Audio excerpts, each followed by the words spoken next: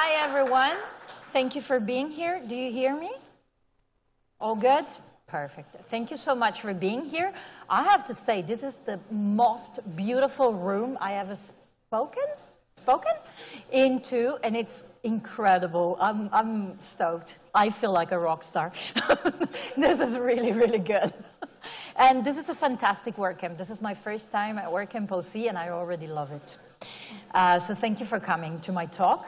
I know there's a super busy schedule, so I'm particularly um, happy that you picked my talk. So what are we going to talk today? We're going to talk about securing WordPress without coding skills. Is there anyone here a security expert? Don't stay here. or if I say something completely wrong, please say it. All right. so my name is Francesca. Uh, as you can hear from my accent, I'm obviously not from around here. I'm from Torino, Italy. Uh, I own more than one T-shirt, but it's very convenient to have um, like a, an outfit like Steve Jobs that people will recognize it. So in my case, it's a blue shirt with pink glasses. Wherever you go to a WordCamp, you'll find me wearing this thing so you'll know who I am. Uh, as Steven said, I'm the WordPress community manager at SiteGround, the international web hosting company. And before doing that, I was a freelancer making websites for other freelancers mostly. So giving back to the WordPress community is basically my job. It's part of my job description. And I'm going to brag because I I worked hard to get here, right? So uh, I like bragging. I'm not a modest person.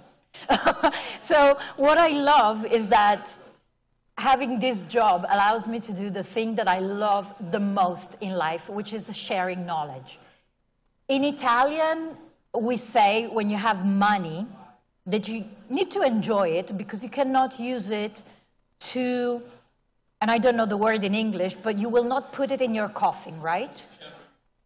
All right, so you do the same with knowledge. Just share it. It's the most wonderful thing in the world. And I think WordCamps are amazing because each one is a story to tell. Each one of us has something to give to the other person in the room. So this is why I love going to word camps around the world and uh, sharing my experience, sometimes my failures, sometimes my successes and what I learned from it, and sometimes I get to share things that I learned from my colleagues at SiteGround. So this talk, it's actually a bit of a mix of everything uh, from my previous life as a website owner and designer, developer, plugin installer, and, uh, and my experience now uh, with a big hosting company behind it. So I'm obviously not a security expert, but I think that so becoming a security expert is a different job than making websites, okay? It's a very different job than making websites. But I think as web professional of any kind, we owe it to ourselves and our customers to make the web safer for everyone. Because everyone has to get something for out of it. If the web is safer, it's safer for everyone. And also, if you know if you know enough, it will prevent you from making costly mistakes, which is what this talk is based about. it's my mistake and how I solved it and how much it costed. So we will not talk about technical stuff. What is your name? Josh. If you have any technical question, Josh is your man, and he's here. If you have technical questions about anything related to SiteGround, come look for me. And after this, we're going to ping my colleagues that know about security and technical stuff. So if you have any really technical stuff, Josh is their man, or you come see me, and we're going to ping customer support, and they're going to reply. But today, so I like to think of myself as a common sense dispenser. I'm like really like full of common sense. That's my my superpower, I think. Um, and I learned this, as I said, uh, from my experiences, and I hope it's going to be helpful for you too if you don't want to become security experts, but you want to make the web safer for everyone. So how I learned this. During my time as a freelance web designer, there was one particular accident that led me to research security a little bit more. Uh, and the key word here is awareness. Again, it's not becoming a security expert, but know enough not to be dangerous, let's say like this. Uh, so one of the website that I managed, this ChipiUB that was mentioned, so ChipiUB is a multi-author uh, website. We're now over 80 people writing for it. So imagine 80 people having access to it, creating their own username and their own password. And so at some point, this website got hacked. I suspect because someone had as a password 1234. I cannot prove that, but uh, so the website got hacked. And we got a cease and desist letter from an American lawyer that asked us to remove false advertisement that was redirecting to a well-known pharmaceutical product. And we're like, what? We're a bunch of ladies reinventing our career and writing about it. You know, like we talk about marketing and personal branding and sometimes cool pajamas to work from home with. What are you talking about? And then we scanned the website and we realized that content was added to our pages as hidden content with advertisement for a pharmaceutical product. Needless to say, we were very scared because, you know, we're in Italy. Suddenly we get a, a cease and desist letter from an American lawyer like, oh, are we going to go to jail? are they going to revoke my visa? I don't know. It was kind of scary. So we managed to get rid of that. And um, obviously, we had no idea our website was compromised. And we also got a sense of false security because we installed a plugin at the time, not even a plugin, actually a module of a plugin that was supposed to keep uh, intruders out. So we're like, we have a plugin, we're safe. No, unfortunately, that's not how it works. This is like the most used sentence ever when we talk about security that says that security is a process and not a plugin. So even if you installed a security plugin, which obviously will help, there are things that you need to do that are your responsibility and that will help immensely. And I learned this, as I said, firsthand because I thought, all right, we have a plugin, we're good to go. No, that's not how it works. So security is a process, security is a state of mind, and it starts even before you create your website, I would say. You have to get into this security mindset. Safety, I would like to say, even, you know, it's not just about security, it's about safety, uh, even before you start your website. So, and this is where Josh is going to help me. Um, let's do a bit of a background, very easy. We're not going to get into technical stuff, as I said. Who is doing these attacks, okay? So we talk about attacks, hacking. And if you're anything like me, you imagine those hackers as Neo in the Matrix with the 25 keyboards, 75 screens, typing like that, and going into my website. That's not how it works, apparently. I was very disappointed when I realized that. So there are more or less three bodies that carry out attacks. One is Neo from Matrix, or um, Keanu Reeves did another movie where it was an hacker, The Net? I don't know. It's a very old movie. Anyway, so he was there. So when it's a person, those attacks are very rare. And they attack very high visibility targets. Think FBI, think, you know, government sites, think banks, think about this, political parties, think about this kind of thing. That hacker will not attack francescamarano.com. He doesn't know I exist. and he, he is not really interested in my website. So per, human attacks are very rare, are very sophisticated, are probably the hardest to detect because they're sophisticated.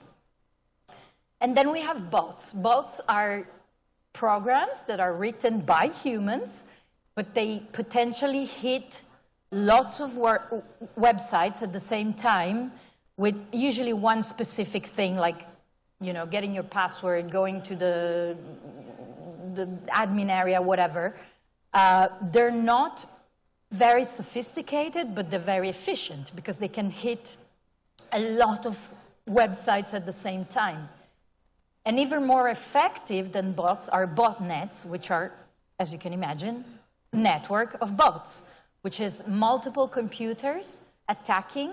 So imagine large scale attacks, hundreds of thousands of websites, uh, coordinated by a computer that is usually, a server that is usually called CNC, control, uh, command and control, and those are deadly because they, they hit hard. They, they go to millions of websites at a time. They're not very smart, but they're deadly because they, they attack a lot of websites at the same time.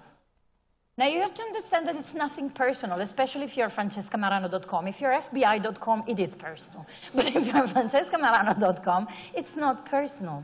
What do hackers want? Because I remember when we, when we got hacked, I was like, what do they want from these ladies? Like, we're a bunch of ladies writing useful, free content. Why are they attacking us? They don't care. So what do hackers want from your new website that just you and your mom read? They want to gain control as admins of your website so they can write files and they can gain control to do stuff. What kind of stuff? Malicious stuff. What kind of stuff? For example, sending out spam. Uh, they can write scripts that will send unwanted spam or viruses through your website. Uh, they could use your website to upload unwanted content. It could be, in our case, it was uh, advertisement, it could be pornography, it could be viruses, it could be even pictures that they don't know where else to put, right? But they will use your website as storage, basically. Or data theft of the most basic kind. If someone sends a comment to your blog, their email is stored inside your website. If you have an e-commerce plugin and someone buys something from you, their email is going to be stored in your website and not even encrypted in the database, unfortunately, but like in the in the admin page of WooCommerce or of any comment, content or comment plugin, you'll see the full, web, the full email. So they can just basically kind of easily get a database of emails to which they can send spam afterwards. And it's, you know, it's not a very difficult attack to carry on because sadly people use unsecure passwords and then you get into the website, you scrape all the emails. It's, it's really a matter of seconds. Or they could use it to redirect. They could upload content. Uh, they could work as a redirect. So, for example, your website, your domain still has a good reputation for Google. Their domain doesn't have a good reputation, so they will use your as a proxy to go through and go to their website. And they can also use this for um, having a higher place in the uh, search engine results. Uh, maybe they don't have like a malicious intent. They didn't add um, any spam or virus, but they're redirecting the traffic, thus having more links, thus climbing the search results. And finally, this is something that I didn't know existed. When I, but when I started researching for this talk, ransomware. Do you know what ransomware is? Except for Josh. Does anyone know what ransomware is? Okay. So basically, it's digital ransom. They will get into your account, um, you will not be able again to get into your account and they will ask for money to release back the password and the account to yourself. Now, this is very popular, and also this I didn't know, on social media. Uh, about a year ago, there was a, ma well, massive, not massive, but there was an attack on uh, Italian influencers on Instagram, about 150 of them, which had very good accounts with over 50,000 followers. They managed to get into their account, and they sent to each one an email that said, uh, give us $4,000 or you don't get your Instagram account back. Now you have to imagine, for example, in this case, it was a lot of ladies that were selling their arts and crafts, and they worked hard to get to those 50,000 followers, and suddenly you have someone that said, no, give me $4,000. And luckily, in Italy, and I guess in every country of the world, there are uh, police um, sectors that deal with that. So they were able in about three days to solve the situation. But this is a thing that happens, and I didn't know. And obviously, there are effects if your website gets hacked. Reputation. Did you ever visit a website that was marked as hacked or insecure and went back to it? I don't think so. Because once you say, oh, this website is hacked, I don't know what's going to happen to me, but I'm not going to go there anymore. And it doesn't matter if the people will clean up this website 30 minutes after you visited. That's it. Their reputation is done. They're hacked. So you won't visit them again unless you really, really want to visit them. Uh, there's a tool by one of the Google tools is uh, Google Safe Browsing, and they will put a notification that the website is not secure. So again, People will not visit that. Or your website might be blocked by your hosting provider, by your internet provider, or by the antivirus software you have on your computer. How many times did you get the pop-up that said, this website is not secure? And you will not go there. It doesn't matter if they sort it out. And let's not forget about cost. So when our website was hacked, um, none of us had any idea how to remove these things. And at the time, we were with a teeny tiny hosting in Italy that wasn't really ready for this kind of things. So we had to pay someone to clean up our website. And the website was down for, well, in that specific case, that website doesn't uh, make any revenue. So we didn't lose revenue, but still, that website was down for over two days. And it's not great. And we also had to pay someone to, to take care of it. So it could be also, you know, there's a cost for cleaning this up. Now, I think no one can guarantee you that your website will not be attacked ever and that your website is 100% safe. Am I right, Josh, when I say this? Okay. uh, because I know that a, a lot of companies use you know, uh, super secure servers and stuff like that, and it's true. Obviously, both hosting companies and uh, uh, servers or anything will put in place all the measures they have to make it secure, but there is no such thing as 100% secure. What we can do, and it starts honestly from your computer right now, we can try to reduce uh, the chances of being attacked. And it starts with the simplest and most overlooked measure that you have to secure your website and your computer. Use a secure password. It means use a long password. How long? 25 characters. Panic. No one remembers 25 characters. I hardly remember my son's birthday. So this is why the internet gave us password managers, which are fantastic pieces of software that will allow you to put all your logins inside an app and you will need to remember just one, the master password to go inside the app itself. Now beware, make your research before you pick the password manager because one very popular one was ACT. hacked. So it gave out millions of passwords. Now, I know that 1Password has never been hacked. So my personal um, uh, preference is for 1Password. It's called 1Password, look it up. It works for Mac, phones, Android, whatever. And it's not super expensive. I think it's about $50 a year, it's effective. They changed the UI. I don't really like it, but I like to complain when UI changes, so maybe it's just me. Don't reuse passwords. That's another thing that we all do because we're lazy and we cannot, again, remember one, you know, too many passwords, so we reuse the same password.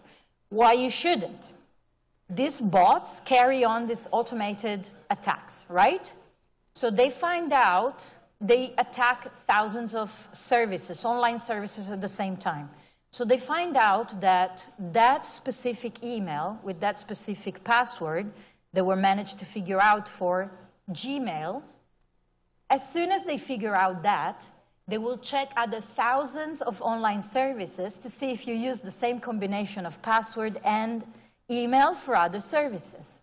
So you thought they hacked your Gmail account, while in a very short period of time, also your LinkedIn, Facebook, Twitter, bank account, uh, national health security, or whatever, it's also hacked. The other thing that I like about 1Password, and it's one thing that I'm doing because I realized that I had 90 over 300 websites using the same password, which is not my son's birthday, to my defense. Uh, but uh, so what I'm doing now, I'm going through all these uh, services and find new passwords for them instead of using always the same one.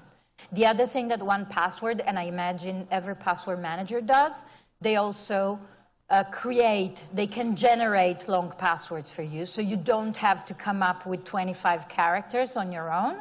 You just get the, the app to do it, and you just copy paste. The other thing that it's so easy and so overlooked, is keeping it having plugins and themes from trusted sources. Now, if you just started your WordPress website, you probably don't really know what a trusted source is. Like, you know, for us that we've been in the business for many years, you mention one plugin, I'm like, you're cool. You mention another one, I'm like, you know, so uh, but this is because we have the experience for that. If you just started, uh, my suggestion would be install things that are inside WordPress.org. And also in that case, you're not 100% secure, but let's say it's a bit better than going to unknown sources. So you go to WordPress.org and you have this uh, plugins, themes, or you go inside your WordPress websites and you go to plugins, add new, and then you will have all the plugins that are in the official repo, and the same goes for themes. Now look out for this kind of things. When was the plugin last updated? So WordPress used to be updated about two, three times a year. Then we had a year and a half without updates, and now we're having updates about each two months, I would say. So check when it was last updated, because now we are at 5.1.1 that was released a few weeks ago. If that plugin that you're using was updated two years ago, I can promise you there's a vulnerability somewhere. because in the meantime, we up the PHP version, we probably changed three versions of WordPress, three major versions of WordPress, and with each of these versions, we usually make also some security patches. So check when it was last updated. The active installations, I would say it's important, but not, I wouldn't base the whole decision on that because we got to start from somewhere.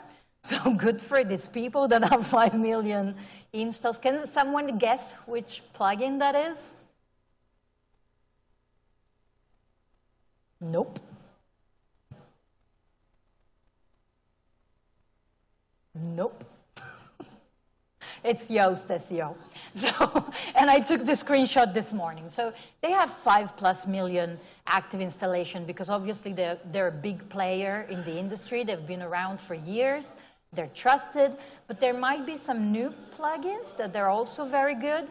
As long as you see that the developers are involved with the development process, as long as you see that they update it, as long as you see that they have the minimum requirements and they're involved with the community and they reply to support question, then even if they have 100 installs, give them a try. They just started. Also, Yoast started with one installation. Right now, they have 5 million plus. But if you want to be mega sure and you don't know still the, the industry so well, stick with something like this.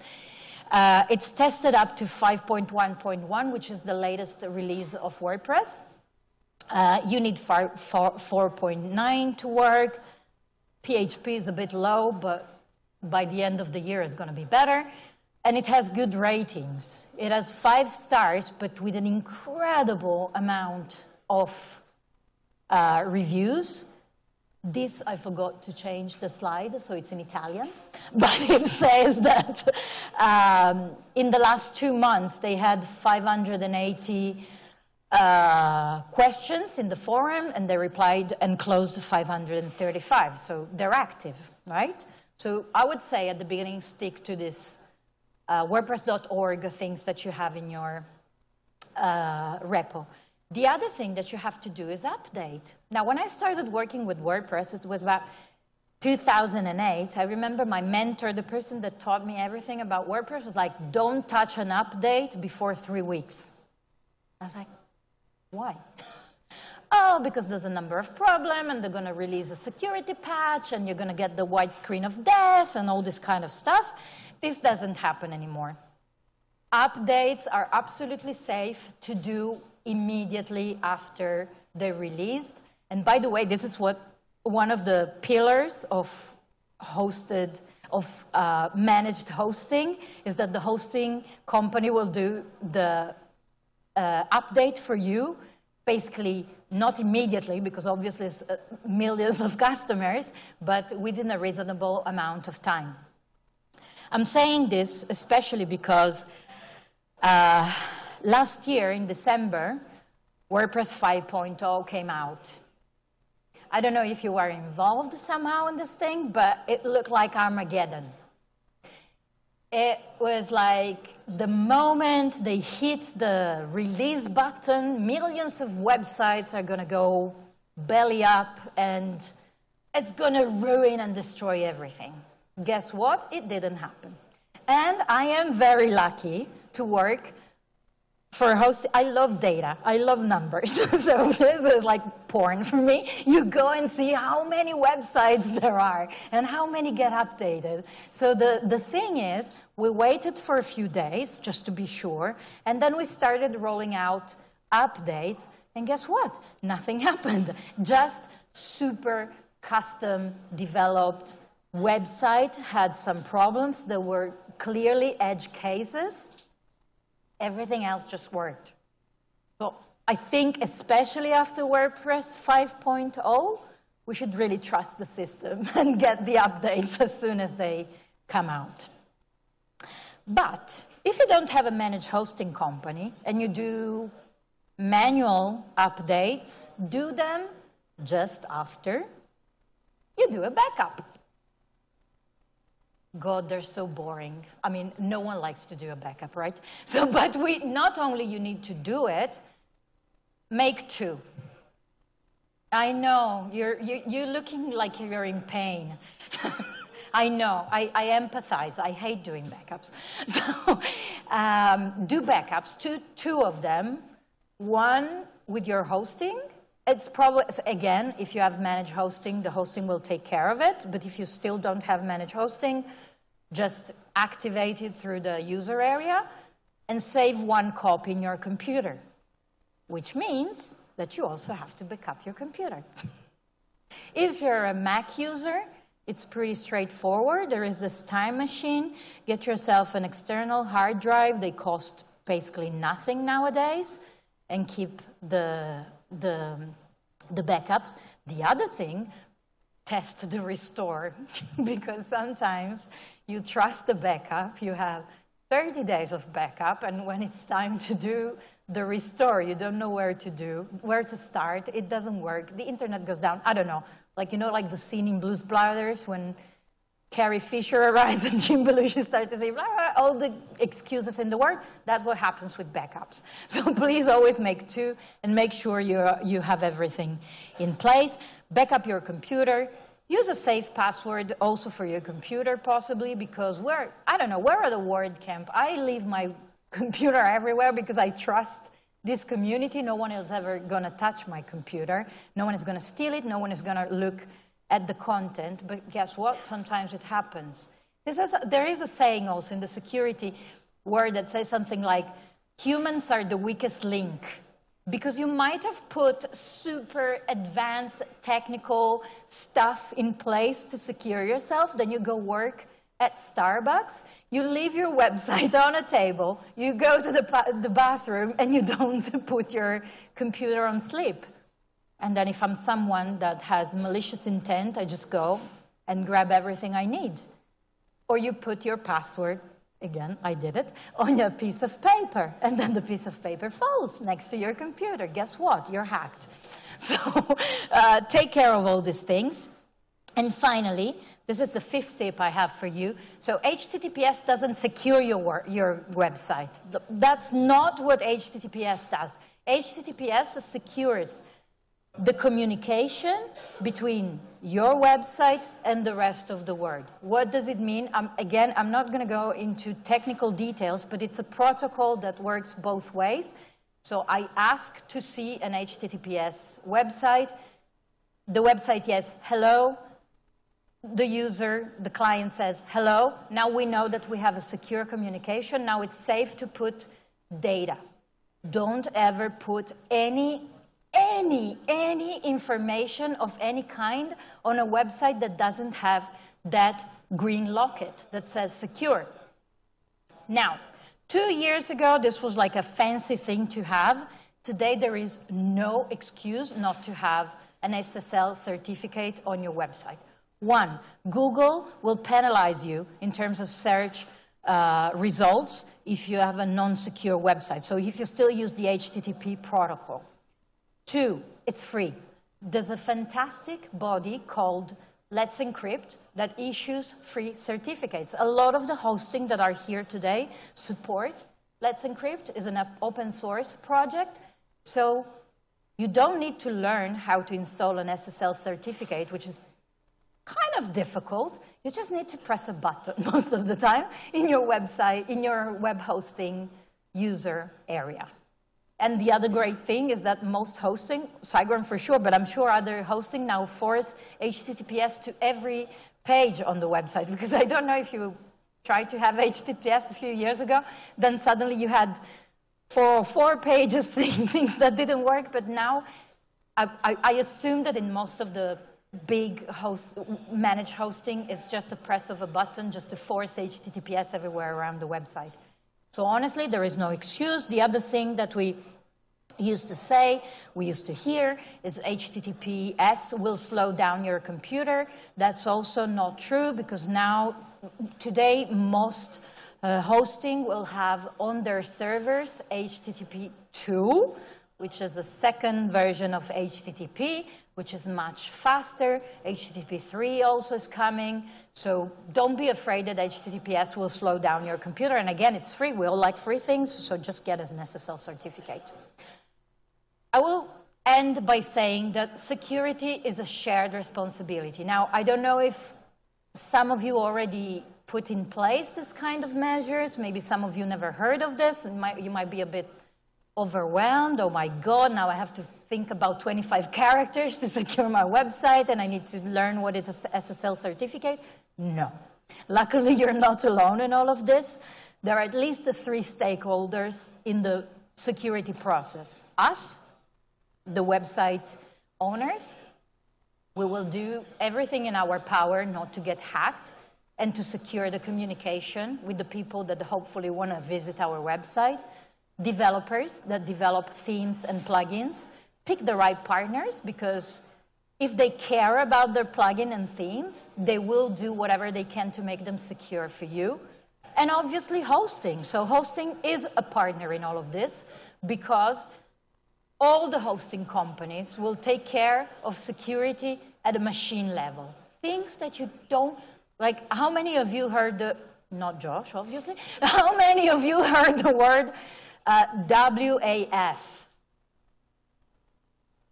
Okay, three over, I would say, 60, 70 people.